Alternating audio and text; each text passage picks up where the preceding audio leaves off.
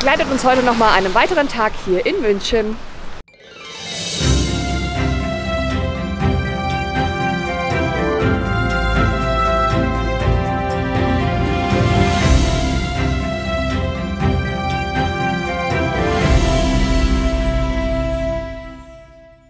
Hallo meine Lieben, schön, dass ihr wieder eingeschaltet habt zu einem weiteren Vlog hier aus München. Und ja, wir sind schon auf dem Weg zum Frühstück in der Innenstadt. Äh, ich hatte auf Instagram gefragt nach euren Tipps für zum gut Frühstücken und wir haben uns jetzt für die Max Emanuel Brauerei entschieden. Und da gehen wir jetzt hin. Und danach muss ich mal gucken, dass ich meinen Koffer am Hauptbahnhof abgebe. Und dann gehen wir noch, fahren wir auf die Theresienwiese, denn dort ist das Frühlingsfest. Heute ist das Wetter aber nicht so frühlingshaft leider. Es hat nämlich geregnet, aber vielleicht wird es ja später noch besser.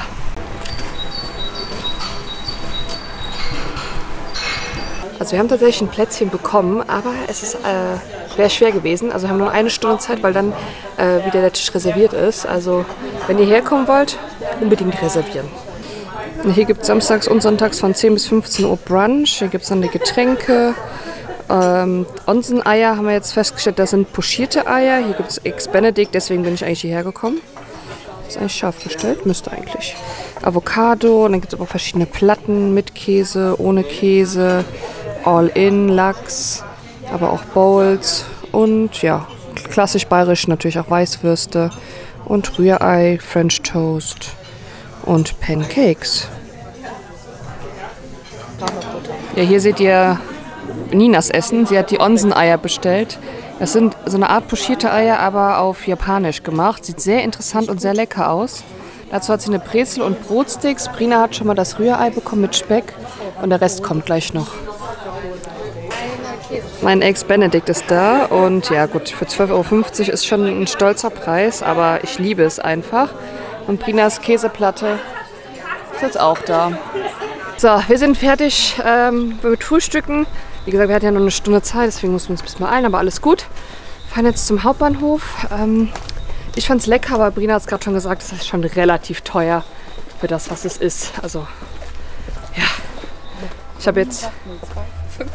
5 Euro? Ja, Orange frisch besser Orangensaft 5 Euro. Also ich habe jetzt für meinen Ex-Benedict mit Cappuccino, äh, mit Latte Macchiato und Orangensaft mit, mit Trinkgeld 24 Euro bezahlt. Sind ja schon fast Schweizer Preise hier. Naja, wir fahren jetzt zum Hauptbahnhof meinen Koffer irgendwo deponieren und dann fahren wir weiter zur Theresienwiese. Dort treffen wir dann wahrscheinlich auf Lotte. Daniel und Sven kommen jetzt auch noch mal kurz vorbei. Ja, irgendwie, irgendwie finden sich die Wege immer zusammen.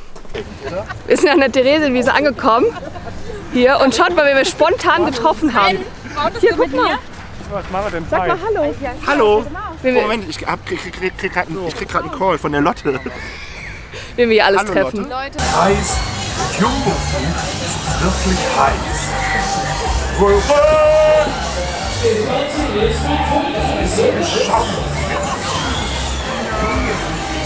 Simone, Sind auch da. Die Lotte kommt auch noch.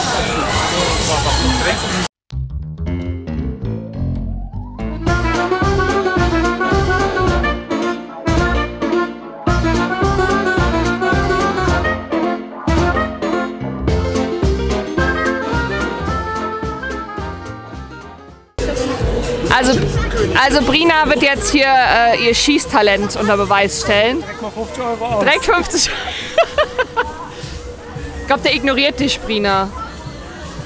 Na, guck mal, wie viel sie trifft. Sie möchte unbedingt auf Herzen schießen. Jetzt wird's aber spannend. So, jetzt so. oh je. Ich hab Angst. Boah.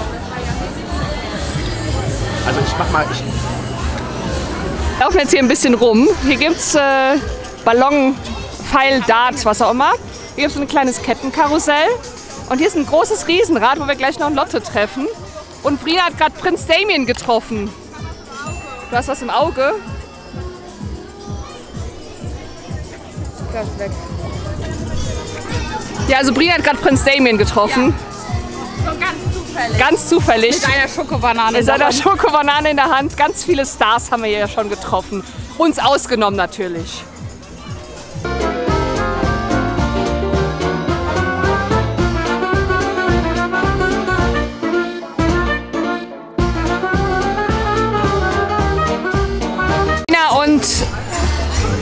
Ich muss ja gerade mal den Daniel filmen, weil da Kinder in der Bahn sind. Weihnachtsbäckerei. Äh, Bri Dan nee, nicht Daniel. Sven und Brina fahren jetzt äh, die Piratenbahn für den Coaster Count. Da sind sie.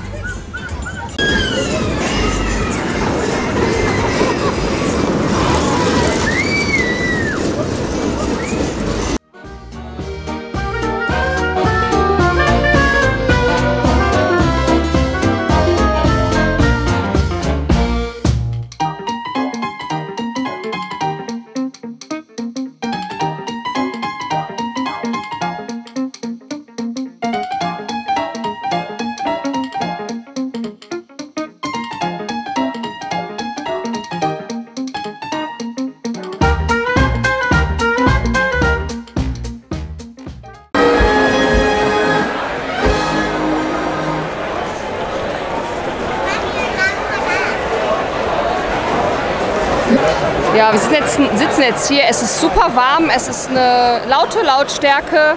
Und äh, das ist die Karte. Hier gibt es zum Beispiel Händel für 12,90, äh, eine halbe Haxe äh, für 17,90, ein Schnitzel kostet hier 17,90. Ja, Daniel hat schon sein Bier. Die Maß wird von alleine weniger. Die wird von alleine weniger, weil der Schaum weg ist. Und die Lotte ist auch mittlerweile da. Was kostet denn ein Maß? 12? 12,90. 12,90, aber Weißbier. Hast du nicht das Augustinerbier? 12,40 und ein Russe kostet 12,90.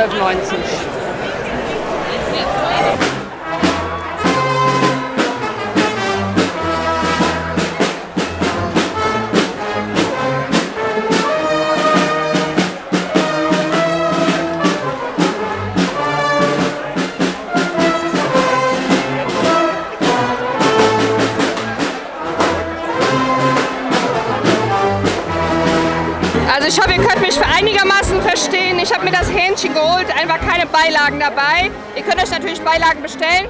Der Sven hat hier eine Currywurst und Rina hat den Pfefferrahmenbraten mit Spätzle. Guten Appetit! Wir sind jetzt raus aus dem Festzelt und ei, ei, ei, aus der Sauna. Also es war wirklich so heiß. Ich dachte zwischendurch, ich kollabiere. Mir war so warm. Ähm, wir sind rausgekommen, es scheint tatsächlich die Sonne und wir können die Jacke auslassen. Ja, einfach schön. Wir stellen dann jetzt hier weiter rum und gucken uns an, was es noch zu erleben gibt hier auf dem Frühlingsfest.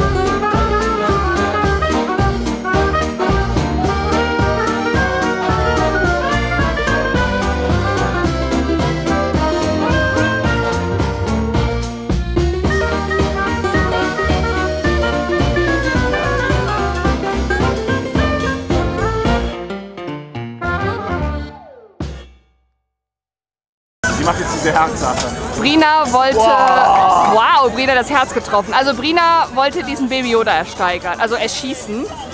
Und sie hat nachgefragt, er kostet 100 oder man braucht 150 Schuss, um Baby Yoda zu bekommen. 65 Schuss kosten 50 Euro.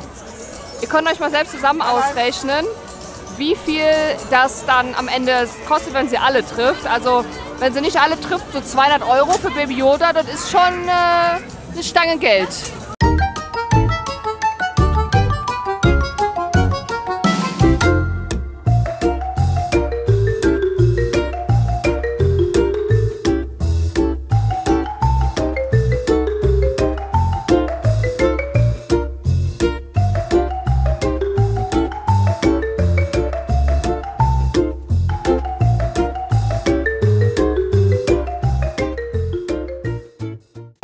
Fahren jetzt Geister irgendwas äh, für 6 Euro pro Person. Geister irgendwas. Geisterparcours. Ja, 6 Euro für Kinder, 5 Euro unter 10 Jahren äh, ermäßigt. Mal gespannt. Daniel, wo ist er denn? Er hat sich nicht getraut. Er ist aber weggelaufen.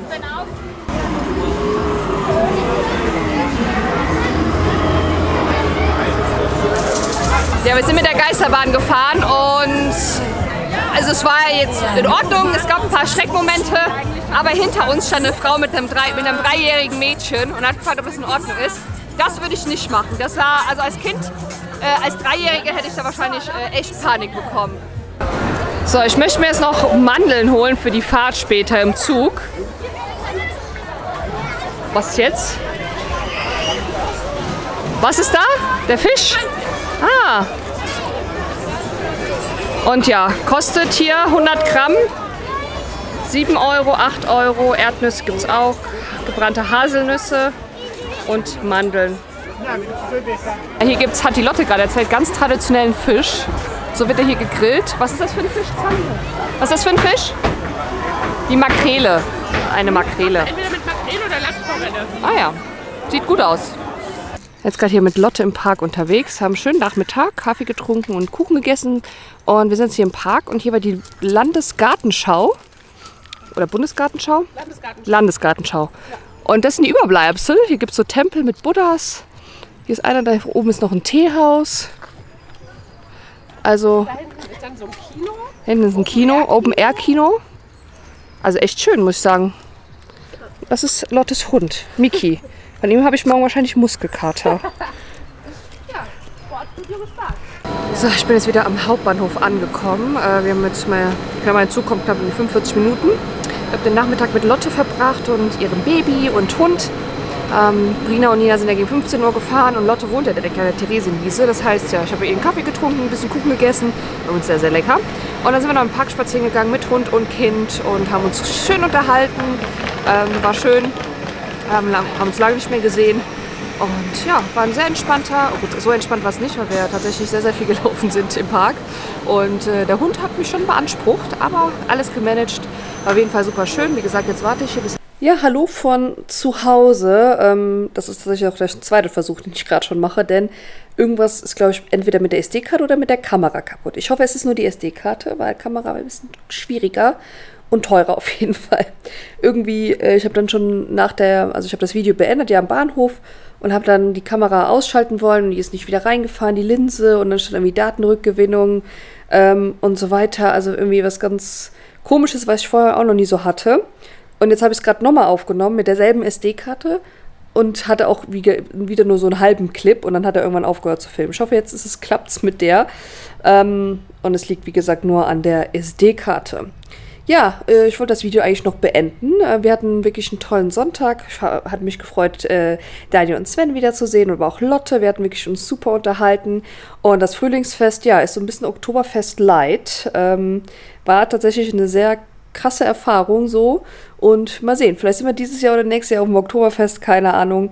Ähm, ist, glaube ich, mal eine Erfahrung, die man als Deutsche auch mal machen muss, auf dem Oktoberfest zu sein. Könnt ihr ja mal unten in die Kommentare schreiben, ob ihr schon mal beim Oktoberfest wart und wie es ihr es gefunden habt.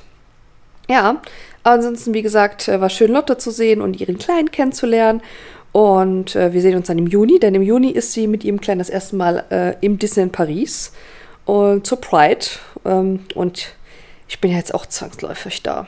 Wegen, weil das das einzige Wochenende ist, wo Brina und ich im Juni dann zusammen da wären. Deswegen gehe ich wahrscheinlich auch auf die Pride und testen noch das Prinzessin-Frühstück, aber das ist jetzt egal. Und nächstes Wochenende bin ich in Zermatt mit meinem Freund und da werde ich auch ein bisschen die Kamera mitnehmen und euch ein bisschen Zermatt zeigen. Da freue ich mich sehr drauf. Und ja, das Video beende ich jetzt hier. Ich hoffe, es hat euch gefallen. Wenn es euch gefallen hat, lasst bitte einen Daumen nach oben da. Abonniert den Kanal, drückt auf die Glocke und dann sehen wir uns ganz bald wieder. Ciao.